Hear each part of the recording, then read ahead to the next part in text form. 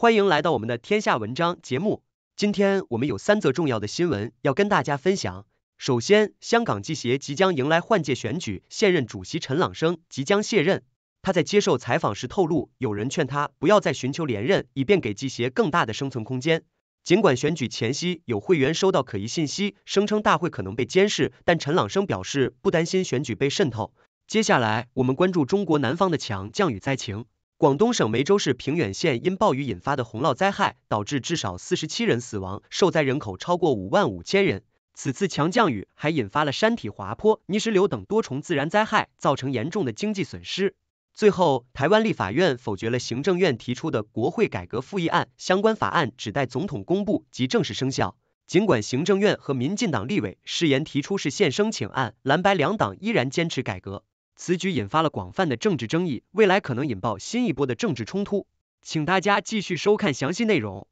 中国核武库扩大，全球核竞赛难以避免。VOA 瑞典智库报告指出，中国核武库的扩增速度超越他国，并推估有二十四枚核弹头首次列入经常性战备。分析人士表示，中国实际的核武库可能比该报告预估的更大。若以此发展下去，中俄联手的核威慑很可能会让美国面临一个全新的三元下组态势，从而陷入战略劣势，迫使美国不得不扩增其核武库规模。这也意味着全球核竞赛恐很难避免踏上重启之路。中国估有五百枚核弹头。斯德哥尔摩国际和平研究所 （CIPRI） 十六日发布的最新核武角色年度报告显示，北京正在扩大其核武库，并推动现代化。报告估计，中国解放军的核弹头数量已从去年一月的四百一十枚增加至今年一月的五百枚。尽管中国的核武库仍远小于美国五千零四十四枚与俄罗斯五千五百八十枚，但报告推测，中国首度将核弹头纳入经常性战备，在和平时期部署少量的核弹头在洲际弹道导弹上，以便随时发射，数量推估有二十四枚。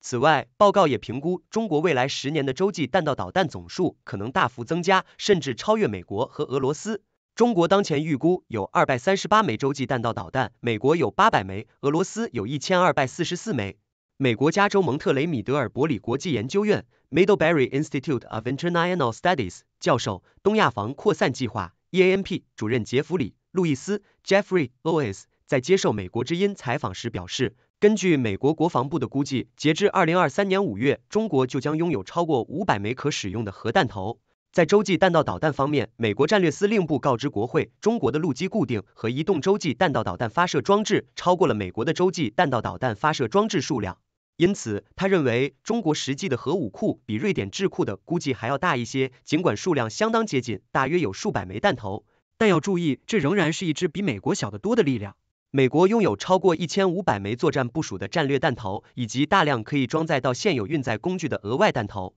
追求与美国持平。路易斯表示，中国在过去的几十年里一直在稳步扩大其核力量。从一九九零年代初只有十八枚洲际弹道导弹，到二零二一年，他的团队发现中国开始建造核弹发射井。现在不同的地方是中国核力量的稳定的成长，最终使其走上了追求与美国在数量上持平的轨道。他表示，对于中国增加核武库的规模并不令人意外。随着中国变得更加富裕，更加重视自己的利益，也投资更多金钱在军事现代化上。而中国国防能力的全面投资，也为中国的核武力量带来了更多资源。无需意外，美国国防部历年的中国军力报告也呈现了相同的景象。该报告在二零二一年大幅修正了中国未来十年可能拥有的核弹头数量，从前一年度的四百枚预估值提高到二零二七年拥有七百枚，二零三零年达到一千枚。隔年二零二二年时，该年度报告更进一步评估中国的核弹头数量，在二零三五年时可能会达到一千五百枚。分析人士说，这些数量的变化都可以明显看出，中国在近几年非常积极的增进自己的核武实力。台湾大学政治系副教授陈世民在接受美国之音采访时表示，中国的核政策过去很长一段时间都维持在一个重质不重量的一个情况，遵循着毛泽东的三点理论，即核武器要有一点、少一点、好一点。中共的国防报告书过去也曾经说过，中国只维持一支有限的核威慑力量，但现在这种有限度核武的概念，似乎在最近几年的官方文件里已经看不到了。关键转捩点，他指出，二零二二年的俄乌战争是中共进一步扩大核武力量的重要转捩点。在此之前，中共是为了因应美中战略竞争的态势而去强化，但俄乌战争后，美国总统拜登和北大西洋公约组织秘书长严斯·斯托尔滕贝格 （Jens Stoltenberg） 均表明不会在乌克兰部署军队，这很明显是因为俄罗斯是一个跟美国并驾齐驱的核武超强大国，他们的核武实力相当，所以美军不会实质介入。陈世民相信，习近平也看到了核武在俄乌战争中所扮演的角色及其军事用途，自然会去思考，如果中国也能拥有跟美俄相近的核武实力，是否未来在攻打台湾时，美国就不敢或是不愿意派军队来帮助台湾了？甚至俄罗斯总统普京几次的核讹诈，声称俄罗斯的核部队已经做好准备，似乎也产生某种程度的恫吓效果。陈世民说，那这样的核讹诈有没有用？有可能有它一定的用处在，而这个用处，习近平看在眼中，中国看在眼中，他不会想学吗？他当然会想学。拜登总统在二零二二年底曾警告，现在是一九六二年，古巴导弹危机以来，距离核战爆发风险最高的时刻。战略学借用“新核子时代”来形容这一个令人担忧的年代。新核威慑态势。陈世民表示，更重要的问题是，俄罗斯现在跟中国更加紧密的相互勾连在一起。如果中俄联合起来，用他们的核武器共同去吓阻美国的话，美国将面临一个全新的核威慑态势，从过去美俄一对一的二元吓阻，变成要去思考如何面对美中俄三角关系的核威慑态势。这也是为什么前美国战略司令部司令理查德 （Charles A. Richard） 也曾为此感到忧心的缘故。陈世民说，如果俄国跟中国联合起来的话，那美国是有可能会处在一个战略劣势的状态。这也是为什么说，你看前几天有一个美国官员，他在参加一个军备管制的研讨会的时候，他已经讲到，美国是不排除会增加美国核武实力。北约秘书长严斯·斯托尔滕贝格六月十七日透露，北约正积极讨论核武器待命计划 （Stand By），以回应来自俄罗斯和中共的威胁。中国外交部发言人林健则说，中方发布的。新时代的中国国防白皮书明确阐述了中国自卫防御的核战略，并建议大家应多关注美国投入巨资升级三位一体和力量、强化和共享和延伸威慑等方面的情况。陈世民表示，俄罗斯自从去年暂停参与新削减战略武器条约并撤销批准全面禁止核试验条约后，很明显在增加自己的核武实力，而中国也在加快扩其增核武实力的脚步。美国不可能容忍自己继续处在这样的一个战略劣势，所以也只能够被动因应去增加自己的核武实力。而这个简单讲就是一个核武的军备竞赛。陈世民说，全球核扩散。他表示，今天这样的一个增加核武，不是说只有这个美俄中而已。这样的一个乌俄战争爆发以后的新核武时代，还有另外一个很重要的问题，那就是全球核武扩散几乎已经难以阻止了。斯德哥尔摩国际和平研究所的报告也点出，全球当前拥有核武的九个国家，包含美国、俄罗斯、中国、法国二百九十枚核弹头，英国二百二十五枚，印度一百七十二枚，巴基斯坦一百七十枚，以色列九十枚，以及朝鲜五十枚，都持续对核武库进行现代化改造，其中部分国家也在扩大部署核武。美国加州蒙特雷米德尔伯里国际研究院东亚防扩散计划主任杰弗里·路易斯也表示，中国战略力量的成长正在促成美国内部压力，要求扩大核武库，并可能引发军备竞赛。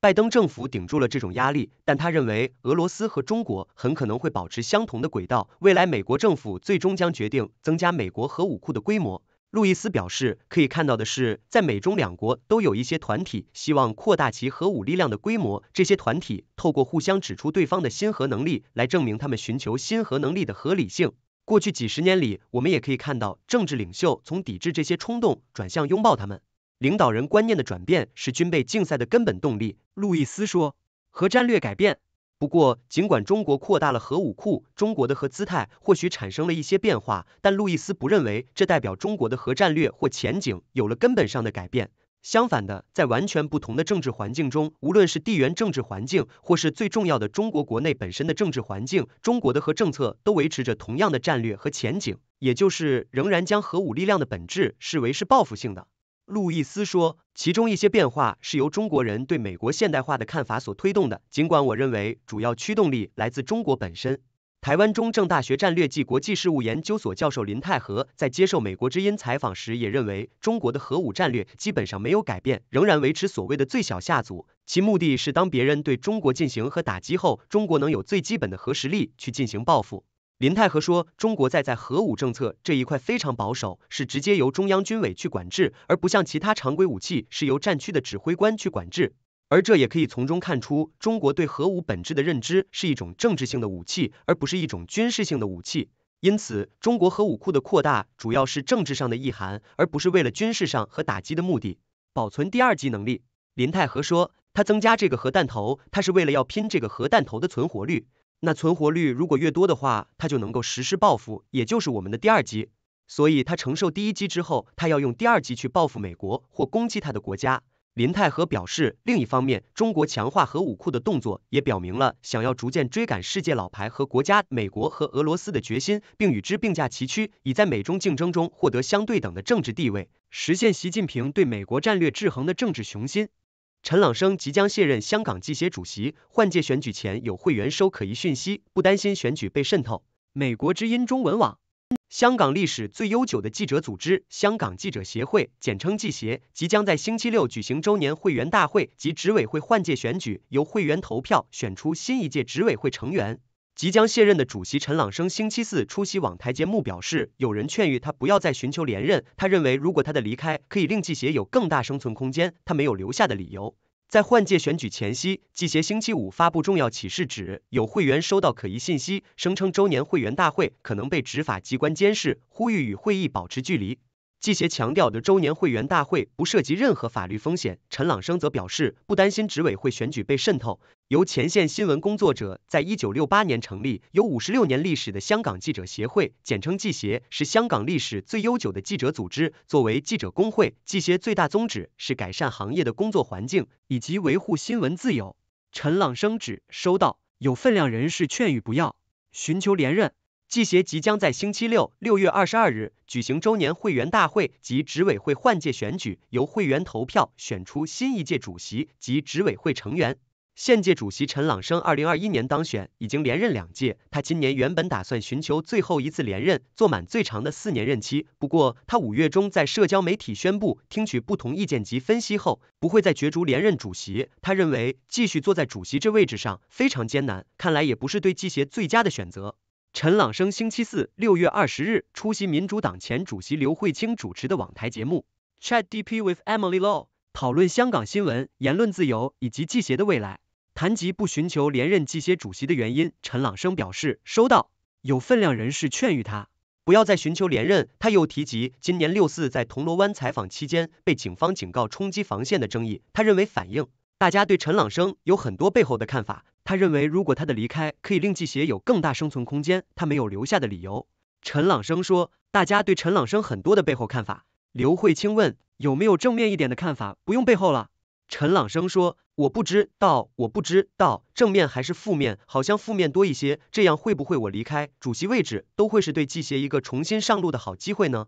刘慧卿问，有没有一些记协会会叫你不要做主席？陈朗生说。记协会员一直都有会员说，不如不要做记协了，记协不如这么危险，不如折埋停运他吧。对我来讲，最重要是我在这里帮到记协，我走都帮到记协。如果有些人觉得好像其他那些组织那样，换了一个领导层，他觉得就会有一个转变，可以给予记协一个生存空间的，我没有留的理由的。很努力，希望记协继续维持下去。至于卸任感言，陈朗生表示，最后希望大家记得，陈朗生曾经很努力为记协着想，很努力，希望记协继续维持下去。陈朗生说，即是记协由一九六八年开始，这么多年，即使曾经风光过，一开始其实是由一对澳洲的夫妇帮我们记协开始，他们觉得一些华人的记者其实权益很差，但是你们华人记者又不帮自己去想，他们就帮我们开了一个这样的会记协，然后我们八。九十年代，在清姐、刘慧卿一九八九至一九九一年曾出任记协主席的年代，很风光啊！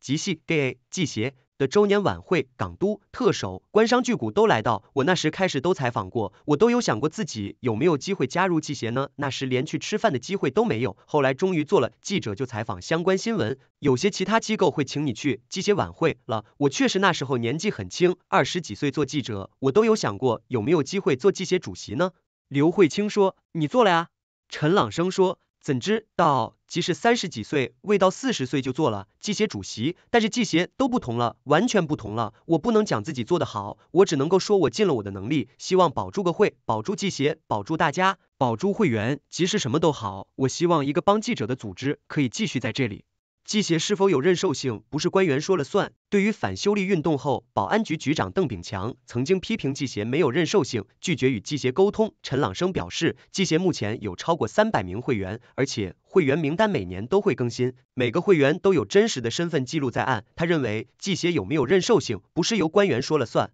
陈朗生说。其他那些团体可能是社团注册，可能公司注册，他们有些会员可能只有入没有出的，都没有更新他们的会员资料的。我们记协去到今天依然是代表着最大多数的前线记者的组织，有没有认受性？就我觉得不是一个人讲的，在行家、记者同业之间，在市民之间，他们会觉得一个比较独立、比较敢言的工会代表记者的机构会是哪个？我们很有信心。你现在到街上问五个、十个、一百个，有人讲第二个名字的，就什么都可以。所以我觉得这个问题，我就不跟他邓炳强斗嘴了。外媒撤出香港或影响国际声誉，陈朗生表示，记协会员人数近年不断减少，主要由于多家大型香港本地传媒，包括苹果日报及立场新闻等停运，记者转行及移民的人数大幅增加。他又表示，外媒记者占记协会员人数比例不高。至于有关中国国家安全的基本法二十三条，今年三月底正式实施后，自由亚洲电台及华尔街日报先后撤出香港，以及将总部搬迁到新加坡。陈朗生回应美国之音提问表示，难以估计这些外国传媒撤出香港及搬迁总部是否与二十三条立法有直接关系，不过他认为会影响香港的国际声誉。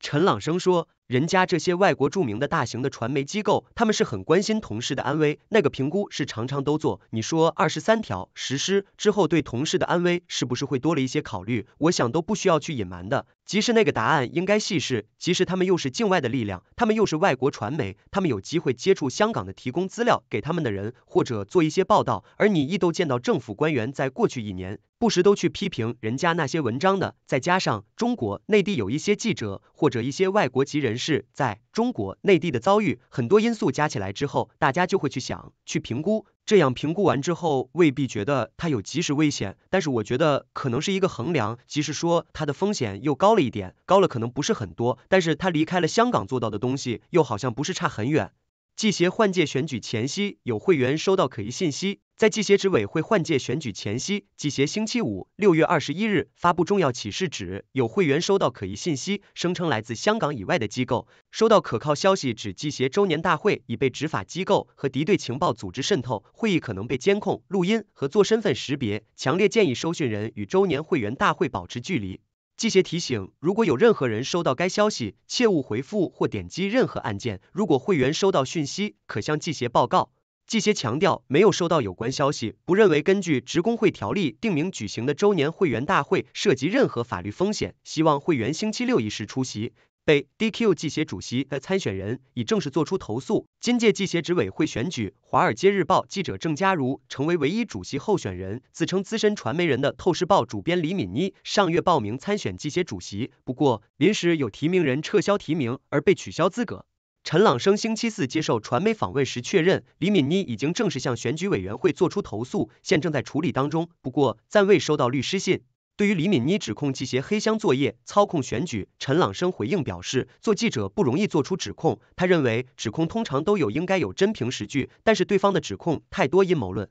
陈朗生说，你问我就觉得太多阴谋论了，太多阴谋论，以及可以多些来参加记协的活动，可以多些来跟我聊聊天，这样他李敏妮就会知那些指控应该距离事实差很远，即使我都留意到他可能，不过这样可能讲到他的个人，可能不是太好。好了，不要讲他的个人了。即使总言之，多些来参加季协的活动，同季协 connect 联系多一些，可能会了解季协多些，这样就会少一些无中生有的指控。陈朗生只不担心记协执委会选举被渗透。有记者问及是否担心记协执委会选举被渗透或者收编，陈朗生回应表示，过去记协执委都会有担心被渗透，但据他的观察，没有发生这样的事情，包括没有亲建制传媒的记者大量加入记协，也没有发生亲建制传媒结盟夺舍的情况。他又认为不需要用渗透的方法取得收编记协。陈朗生说。收编就看你怎么看。什么叫收编？其实，在今天这样的社会环境，他当局如果有些什么要求的话，你敢不敢不做呢？当然，看看他的要求是公开还是不公开，是怎样吧。至于你说渗透这件事情，担心了很久，汇方、记协担心了很久，过往的主力、执委们都有担心的。但是你问我的观察，每每没有发生过。即使有没有一些亲建制媒体的人大量加入记协，没有。有没有他们亲建制媒体怎样做？大家互相是结成联盟，跟着去所谓夺舍都没有。因为我觉得很简单而已，他当局根本觉得你机械就是不听话的组织，他亲建制媒体怎会愿意加入来呢？他当局如果觉得你是太过分的，他一掌拍死你，这样已经拍死你了，不用加入记协吧。其实我觉得不需要用这个渗透的方法。邓炳强指纪协受到法律保障，批执委会参选人多属外媒。香港保安局局长邓炳强星期五黄昏会见记者，回应记协会员收到警告讯息时表示，纪协虽然是无认受性组织，但由于记协是根据香港法律注册，会受到法律保障。任何人如果觉得受恐吓，可以随时报警。不过，邓炳强同时主动评论记协星期六的执委会换届选举，他批评记协 DQ 取消一位表明要改革记协的主席参选人资格，他又质疑执委会参选人的履历。邓炳强表示，他留意到执委会参选人当中，最初看起来还以为是外国记者协会，因为。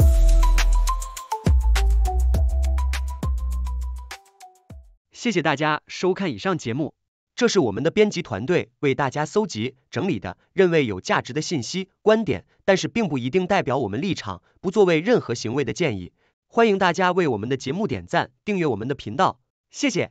Turn on the TV screen,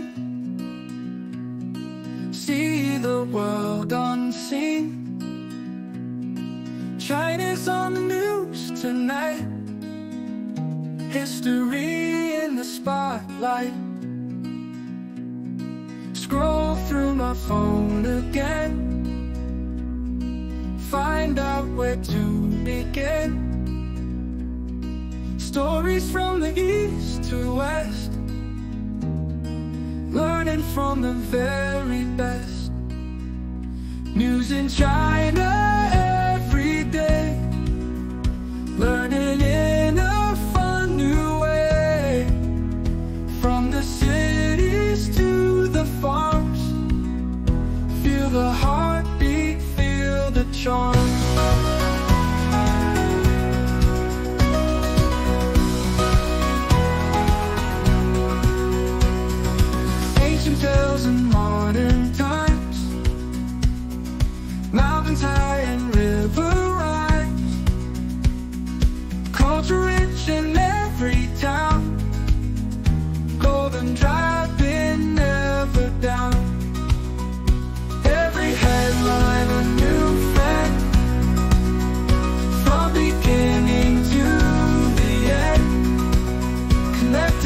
walk through it.